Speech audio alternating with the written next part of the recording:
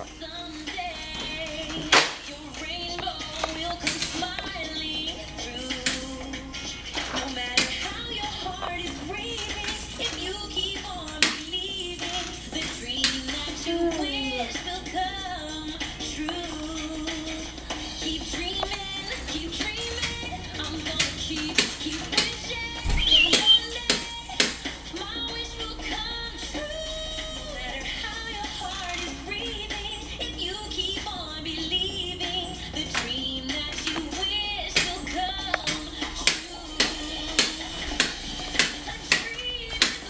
Enséñame un momentico, ya que estás ahí, porque es David, tú no estás.